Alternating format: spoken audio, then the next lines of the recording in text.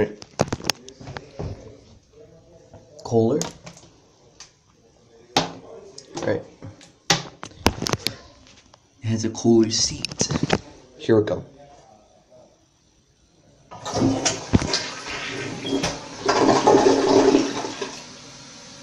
Okay. Let's put the seat down.